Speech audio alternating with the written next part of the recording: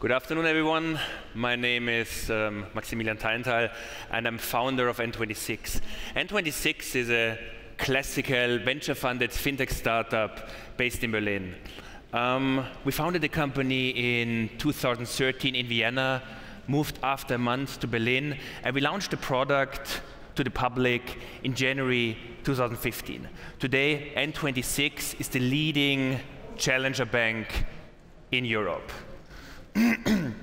Today I would like to talk about what we are doing at N26, why we are doing it, what's the N26 approach to banking, and then I would like to give you an outlook what's coming next on our journey.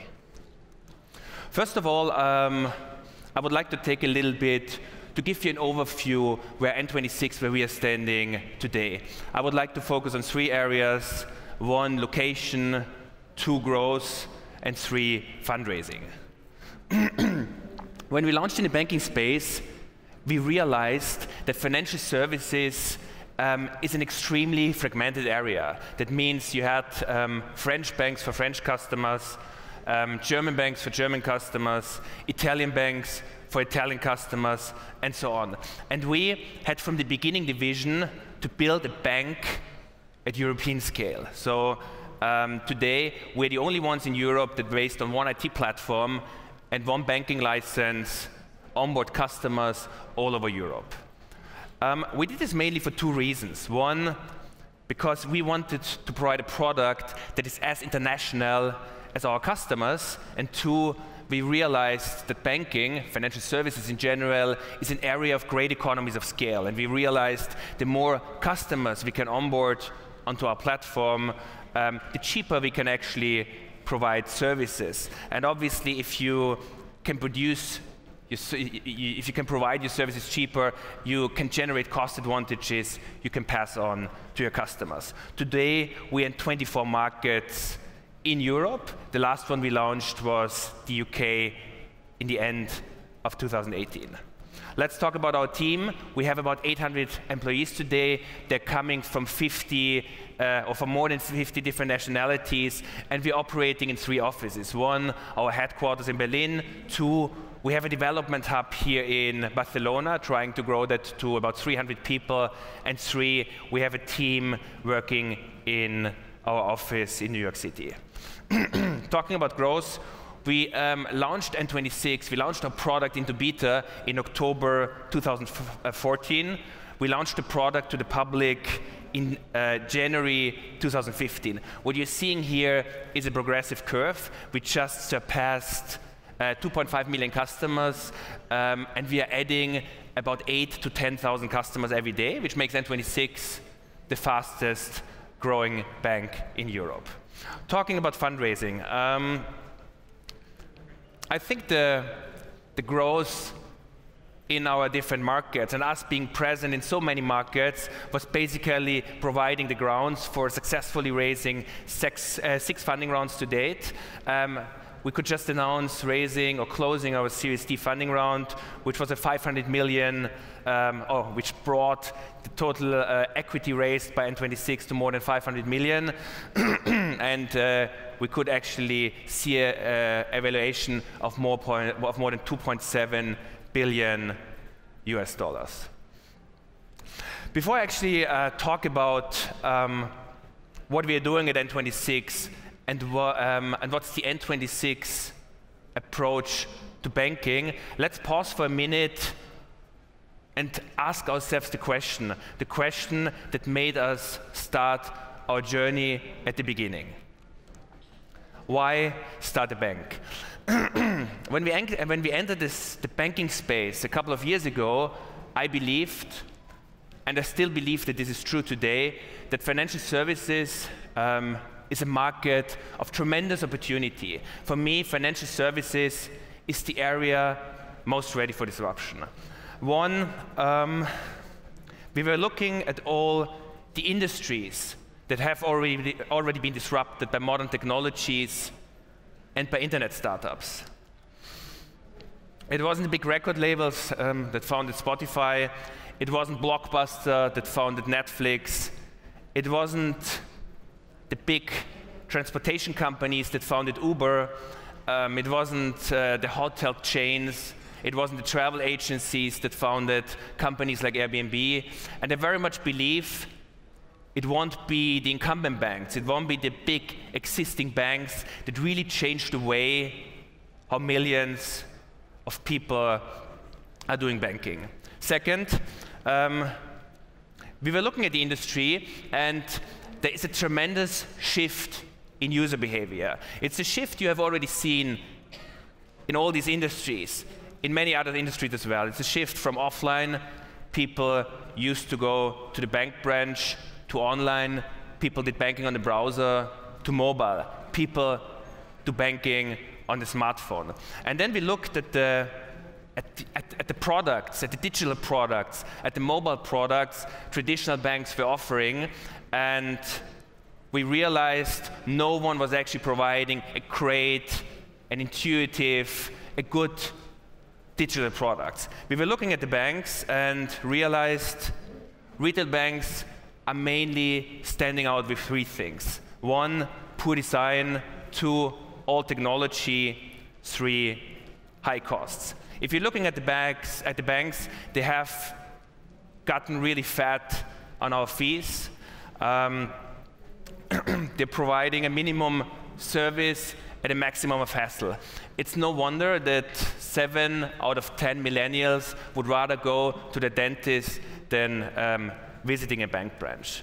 So what's the N26 experience? What's the thing we wanted to change with N26? What's the user experience we wanted to provide to our millennial customers? Um, the product of N26 is a mobile-first bank account. It's a product for digital natives. It's the product that provide, should provide a great user experience. It is entirely paperless. It is, we can say, I think, it's the first digital product that was made by digital people for digital people together with the community. Um, we want to help our customers to organize their finances. We want to give them back the control over their spendings. We want to help them to save. We want to help them to plan their financial life. The latest product we launched in that regard is N26 Spaces. Um, it follows a little bit um, the model of, of, of, mental accounting. So we realized if you as a customer um, if you have like 3,000 euros on the, uh, on the account, you don't think of that as one bucket with 3,000 euros, but you put aside a little bit of money for your next vacation, you put some money aside for your groceries, you put some money aside that you are uh, that you need to pay your rent. We used to have identity between customer, account, and card, and we are fully breaking that up. So today, we make it as easy as opening WhatsApp groups for our customers uh, to create sub-accounts. So um, this is also a starting point for further products. In the future, you will be able to share sub-accounts with your friends. We will be able to issue you cards for those sub-accounts. You will be able to hold such sub-accounts in different currency and so on. Um, finally, um, we want to offer financial products that make sense for our customers. We want to provide them in the moment the customer needs them. And we are fully open whether it's products we are building ourselves it's products that we are uh, providing together with our partners through partnerships. I think mobile payment is another important topic for us, obviously offering Google Pay and Apple Pay in the markets where it exists. So why are we doing this? Why did we build N26 Spaces? Why do we try to build the best user experience? Um, why do we think these things are important? Why did we bring um, these cool cards to the market? We actually wanted to build a bank our customers like. We were thinking about what's the customer problem um, we want to solve. And actually thinking about that also made us create our new branding campaign, the 26 reasons why to become a customer of N26. You have might seen this campaign just when you walk out of this building and you go to the metro station, you will see that those stations are N26 branded. So what's the promise of N26? Why should customers choose banking with N26? Um, we wanted to build the first bank our customers love. I think it is a bold statement in an industry where no one is particularly excited about their banking partner. Um, we wanted to provide our services at, at, the best possible cost. Obviously, we, we didn't want to have any hidden fees. And if you think about our business model, if you want to understand our business model, you have to think about our cost base first. One, we acquire customers at a small fraction of the price compared to any traditional banks. Why is it like this? Because most of our traffic, most of the users are coming to us through virality, because um, they have friends, they have been delighted by our product. Um, they have friends that recommended N26 to them. I think, too, um, we have much lower overhead costs. If you walk through the offices of N26, they look very much different compared to um, like the boardrooms of traditional banks. And three, we just have a much more modern in infrastructure. We don't invest into uh, bank branches, in the branch network that a growing number of customers doesn't even need anymore. Um, and finally, I think it's one of the other like 26 reasons, um, we wanted to provide a product that is as mobile as our customers. So let me finish by looking or like by telling you what's next. I talked about at the beginning this company was built on the vision to build a pan-European bank because we realized that the financial needs of the customers are very much alike throughout the markets and that the product that's working in Germany is also going to work in France. We actually realized that the financial needs are similar in the entire Western world. And so our vision also become bigger. Today, we want to build the first global retail bank. We want to build a bank that's delighting um, 100 millions of customers around the world. We have a team in uh, New York City that's working towards the launch in the first half of 2019. And the question has been asked, what is the next market N26 is going to. I'm very happy to announce today that we have already formed a team that's working on next market and on next continent, and that the next market N26 is going to will be Brazil. We will soon update the public on how are we going to launch there and what's the timeline for our launch in that market. And with that, I'm done with my slides, and I'm very much looking forward to take any questions you might have.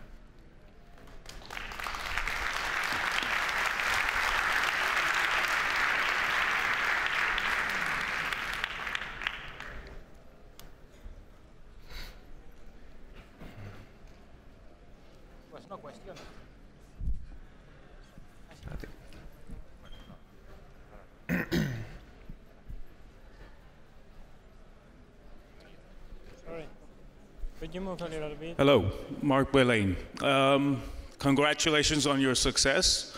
I have a question regarding um, the, um, the challenges you might face in terms of compliance and uh, regulations in all the markets that you enter, also in the US or in Brazil.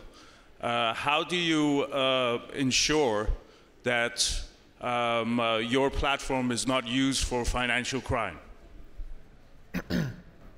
So the question was for compliance, which is obviously um, a very like important point. Like we um, we entered this highly uh, regulated environment, and if you ask me today, I think one of the big challenges we see is. Um, how can we actually maintain the agility of a startup in this highly um, regulated environment? Um, if you think about reg regulations, um, I think it's also important to understand that there's very often a trade-off between compliance and security and uh, uh, like, like user experience and speed and all these um, and, and, and, and all these things on the other side. So I think it's, you always have to take like a very smart approach. You obviously have to be 100% compliant, and it's clear for everyone at N26, as in any other bank, you know, if you lose money of the customers, or if you lose data of the customers, you can just go home and do something else. So I think it's also very important to stay compliant with regulations, to stay secure. On the other side, I think it is important not to be like, you know, 150% compliance. I think what we're seeing is that a lot of banks are ruled by compliance teams today, and they're like basically working to get compliance from 150% to 170%, and that very often goes to the disadvantage of the customers. And that's, I don't think, uh, the, way, the way to success. Thanks for the uh, presentation. This is Gu Ying from the Oxford Universities. I would like to ask uh, questions. Uh, your card is mainly um, debit card. Yeah. Have you ever think about a credit card as a stage up?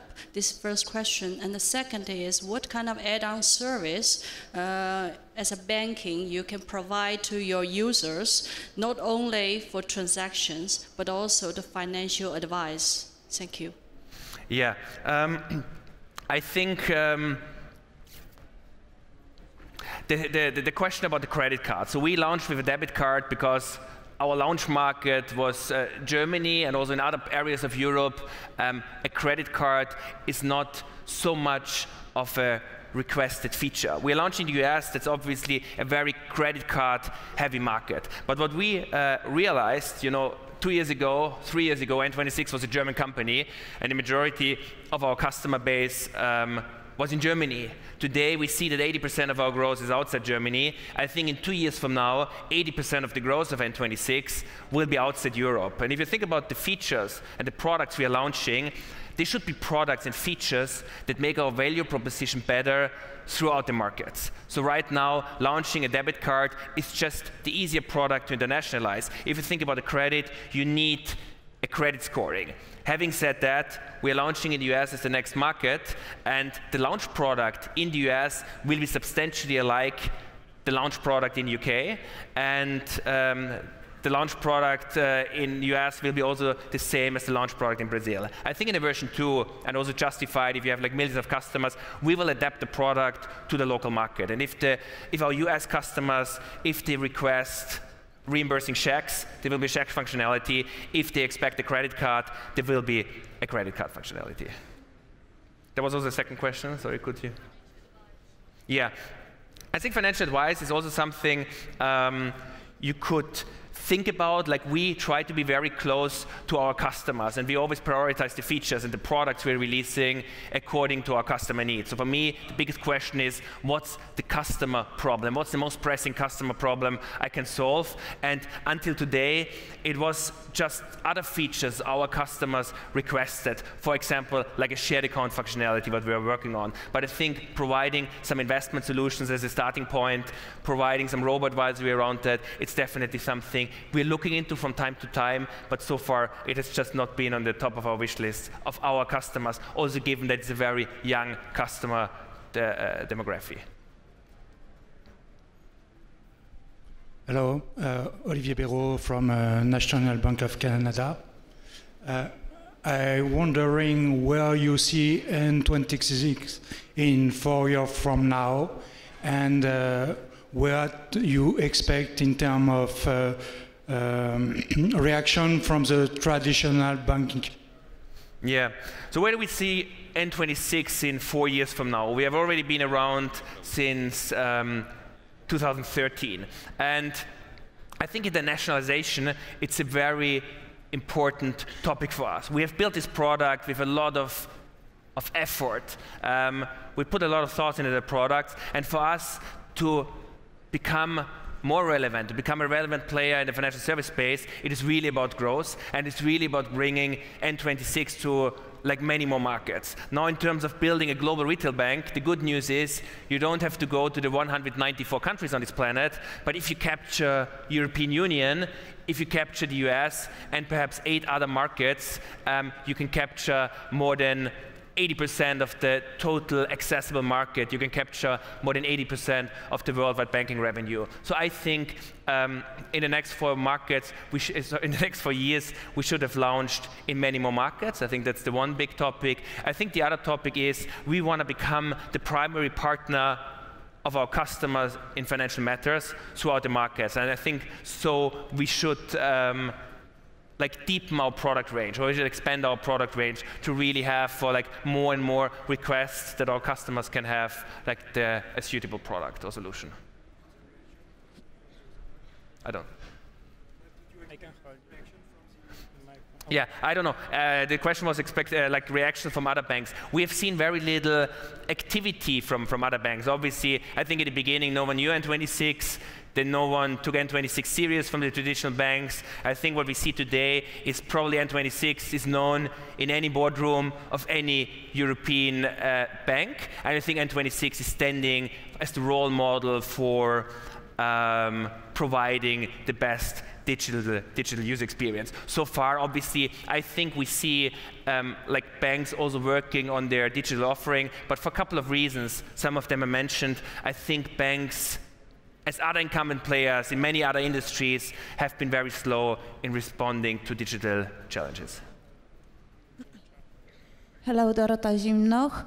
Um, congratulations, it's a great story, and you are into of my home countries, Poland and UK, which is fantastic. Uh, you just mentioned about financial services and expansion. Um, I wonder if you also look at the other areas like insurance, and are you planning to go into platformification of, of products, or are you staying very focused on banking side? If you yeah. So the question was. Um, for, for other financial verticals. Like I think our general rule at N26, we put the customer first and we think about like what does the customer request. And if I said like financial services, I said like banking is the area most ready for disruption, I think areas like insurance, they come quite close. So it was also the question whether we uh, we're doing things through partnerships or whether we're doing things alone. Like if you would have asked me like three years ago, we were very much talking about our fintech hub we are building. We were very much talking about integrating other financial services companies. But we are, and it's a little bit coming back to the discussion we had before, we are lacking of partners that share our global ambition. So it's very few banks. There is no bank actually that has a global ambition. There's no fintech startup that has a global ambition. And today you can integrate with an insurance partner that works in Germany, and then perhaps they go to a second market. We're in 24 markets today. We're soon going to be in 30 and more markets. And uh, if we do part, if we do something like insurance, it should be a solution that should make our value proposition stronger throughout the markets. But I wouldn't know which insurance solution I could integrate, which partner, broker, insurance company I could go with that would actually allow me to offer products throughout my markets. Thank you. Hi, it was very great presentation for you, and we, I have two questions. The first thing is um, the such new services like voice sending and kind of withdraw in German supermarket kind of thing services was helpful to growing customer number. And the second thing I've just watched the news about N26 that you have planned to go to Asian markets. So is there any, any plan to go to Asian market like Korea or China or Japan? Yeah. I think first of all, like I, I take the second question first. So is there any plans to go to Asian markets? I said we want to build a global retail bank. I also said if you go like to 10 markets outside of Europe, you capture more than 80% of the worldwide banking uh, revenue. Um, some of these 10 markets happen to be in Asia. So obviously, if you look at the worldwide banking revenues and you rank them according to size, the markets. Obviously, the first one is the US. the second one would be China, for example. Like I could talk very long time about China. We have two leading investors in N26, like Tencent, Horizon Ventures, that are actually based in China. Like I also from the experience I think other companies made by expanding to China, um, are a little bit reluctant to actually plan for a launch in China, but there's definitely some other markets like Japan or Korea where N26 could uh, be an interesting value proposition because you have the same situations throughout the world. The financial needs of the customers are very much alike. It's the same in Asia and South America. Um, you know, people, they want to have a place to store value. It's, it's an account. They want to have a card to pay. They want to save. They want to invest. They might need a credit, like short-term, long-term, secured, unsecured. But this is basically it. Then you could think about topics um, like insurance. Financial needs very much alike. And at the same time, I think the user experience the products traditional banks are providing in all these markets have been disappointing customers for many years. So I think we will go to Asian markets. I think N26 will be able to offer a very competitive product, a very good user experience compared to the rest of the market. I think the other question you asked, like for the features we are offering, what we are seeing is that growth and thereby like the um, like, uh, like the growth is very much uh, correlated with the completeness of the product. So the more features we are launching, the more products we're offering in any market, the stronger is our growth. And so like withdrawing cash as we have it like in Germany and Austria at the supermarket is something that our uh, customers like and it's also something that's driving growth. Hello Maximilian, um, Felix from Austria actually. Um, I was wondering, as you're talking all the time about the expansion plans, are there any plans already on the table to go into public or like a public company? And my second question is if you are also planning into going into cryptocurrency, yeah. or you want to stay like a classic bank? Yeah. Um, so the question was um, about going. Uh, um, was it about going public. Um, to answer that a little bit broader, like um, you can build a startup one or the other way. My co-founder and myself, we decided very early in the days we don't want to see N26 being sold to a traditional bank like for a couple of million euros. Like my vision is, and what keeps me like up basically every second night is I want to build a company that other banks are afraid of. Like our vision is really big. We want to build the global retail bank. And if you have a vision like this, you just need a lot of funds. N26 hasn't entered the business to distribute dividends to our investors. So what we are doing is every money, every cash flow we are generating, we're investing in the growth. We're investing it in the growth of our team, and we're investing it in the growth of our customer base. Obviously, then at one point in time, you need to think about, do you want to stay private, or do you want to go public as the better like source for funding. What we have seen also like um, also just in the last funding round, but also like by companies that are much further down the road, like Uber, you can actually stay private for a very long time and can still like raise significant amounts of capital. Like uh, right now and for the next two years, um, I like doing an IPO is definitely not the topic, but it's always the story, the long-term vision we tell like to our to our team, and we're also telling to our investors. So it's definitely something in 2021, 2022, or afterwards we are going to um, analyze. Um, like whether this is something that makes sense for us. The other topic was about like cryptocurrency. We didn't do anything in this area yet because again, we're always asking ourselves the question, like, what is really the customer problem I want to solve? And if you think about the currency, like, what's the purpose of, of the currency? One, it is an accounting unit for like a couple of reasons, high volatility, um, like Bitcoin or other cryptocurrencies are not working as uh, accounting unit. Two, it's it's a value for purchase. It's a currency. Um, like this is not working due to acceptance reasons. So for us, it was the question, like what's really the problem we want to solve. Like for me, it's an, it's, it's an asset category. It's like gold or other assets. And I think it's an interesting case at one point in time to give customers the opportunity to buy like any kind of asset categories, but it's definitely um, not in the top of our priority list. Mm -hmm. Hello, Araminta. I am from the UK, living here in Spain. And I'm a user of N26, Revolut, all the others, so I get to compare a few of them, and they're, they're pretty cool. But obviously, from the younger generation, I'm very open to doing this. But I'm curious, what are you doing to capture older generations who might not be so open to opening an N26, or, I mean, Revolut have the same problem. Um, what are you doing to try and get those older generations to yeah. open an N26 bank account? Thank you. Yeah, so the question was, I was actually just being told that this needs to be the last question because apparently other people want to speak as well. Um, question was, what do we do like for, for an older audience? Basically, N26 is not only a product for millennials. What we actually realized is that someone who has a digital mindset, someone who likes a digital product, has actually the same needs, regardless of whether this person is like 20 or whether this person is 50. Also, if you think about like think about the iPhones, think about other smartphones. They have actually set a global standard for user experience, and great user experience is like looks the same for someone who is like 20 or someone who is like who is 50. Also, if you look at our audience, we were actually surprised that about like 30 to 40 percent of our customers are 35 years or older. So N26 is actually a product that's also suited for little bit older people. Obviously, in terms of prioritizing the features, if you want to do like a shared account for young for, for a rather younger audience, or if you want to do like an investment product for high net worth individuals that usually like, you know, in the 50s and 60s,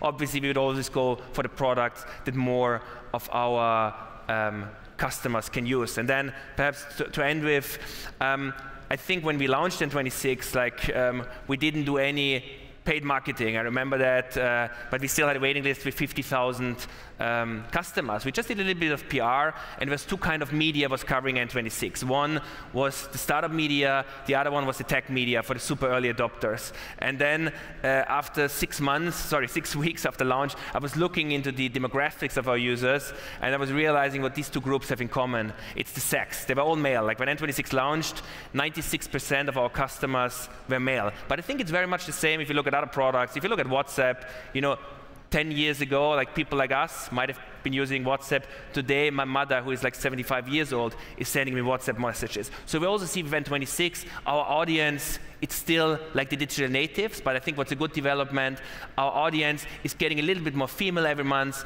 and it's, it's much more female than it was like a couple of years ago. It's getting more female every month, and it's also getting a little bit older, a little bit more mainstream, so to say, a little bit more um, similar to the average of the population.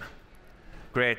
Thanks a lot for the opportunity to speak here, to the people organizing that, and thanks a lot for the questions. Thank you, Maximilian.